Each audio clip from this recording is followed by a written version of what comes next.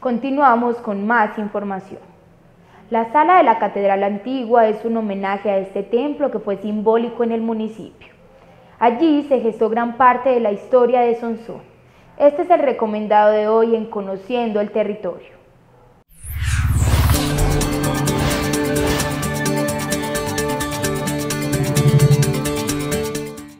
Esta sala se encuentra en el Museo de Arte Religioso. Fue creada hace más de dos años con el fin de que las personas, tanto del municipio como de afuera, conozcan un poco de la historia de la Catedral de Granito.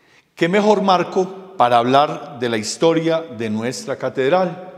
Y es empezar con la solicitud que hizo el padre Ramón Hoyos, párroco hacia 1880-1885, elevando una solicitud al señor arzobispo de Medellín para derruir la iglesia que estaba en ese momento, una de las iglesias primogenias de nuestro Sonsón, para construir una gran iglesia.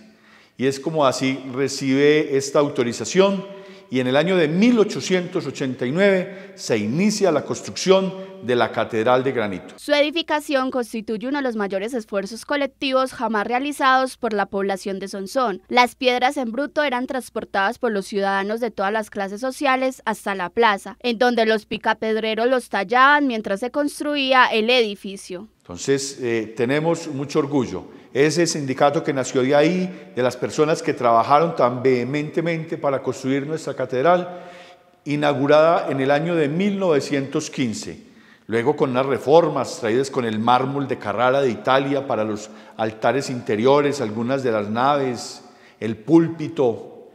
Ya hacia el año de 1950 se pusieron los mosaicos que tenía y que están en la actual catedral con el Via Crucis, también el mármol de Carrara, mármol italiano, estos mosaicos con el Via Crucis. Ya esta catedral, con el terremoto del año, los terremotos del año 61 y 62, el 61 pues sufre gran avería, ya en el 62 se destruye gran parte de ella. Y esas vivencias y estas historias las vamos a vivir aquí en esta sala. También la tenemos a través de la fotografía, de los recuerdos y de algunos videos que también proyectamos dentro de la sala cuando son visitas guiadas.